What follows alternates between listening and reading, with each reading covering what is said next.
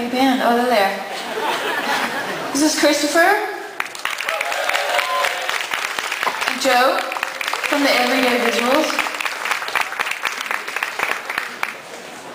And this is called Shining On.